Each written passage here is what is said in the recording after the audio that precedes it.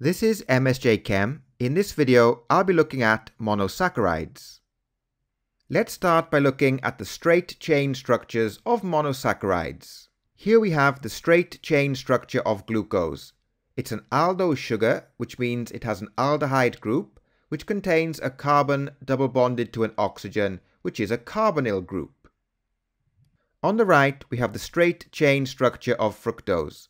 Fructose is a ketose sugar. It has a ketone group, which contains a carbonyl group.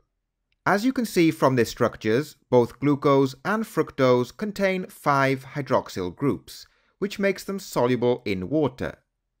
Monosaccharides have the empirical formula of CH2O. Glucose and fructose are hexose sugars, which means they have six carbon atoms. The molecular formula is C6H12O6. Next we look at the ring structures of glucose and fructose.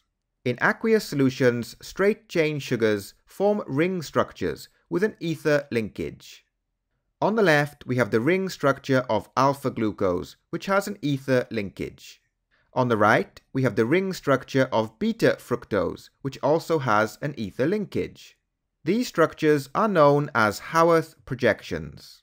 The structures of alpha glucose and alpha fructose can both be found in table 34 of the data booklet.